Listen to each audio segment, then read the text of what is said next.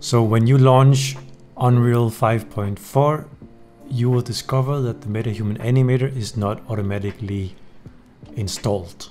So what you have to do is you have to install it again. These are just the first steps of how to quickly and easily install MetaHuman Animator on your Unreal Engine. First you go into your Epic Games launcher and find the MetaHuman Animator plugin and then you install it to the version of Unreal and in this case is Unreal 5.4. It will take a bit of time to install so have a bit of patience and brew yourself a cup of coffee. And whoops, I had a bit of a crash here. That tends to happen.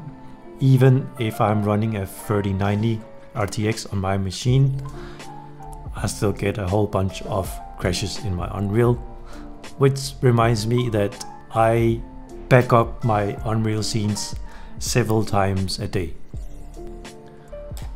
And once installed, you will have to go up into edit plugins and then activate the MetaHuman Animator plugin and restart your Unreal Engine. And once Unreal has restarted, you right click and then find your MetaHuman Animator and proceed as usual. I will go more into detail in the MetaHuman Animator and Sequencer in a later video.